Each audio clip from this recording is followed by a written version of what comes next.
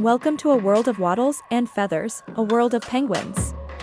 Did you know, a penguin's tuxedo-like color helps camouflage it underwater? Some species of penguins, like the emperor penguin, stay in Antarctica all year round, braving the harshest conditions on Earth. Penguins are not just swimmers, they're underwater acrobats too, reaching speeds of 22 miles per hour.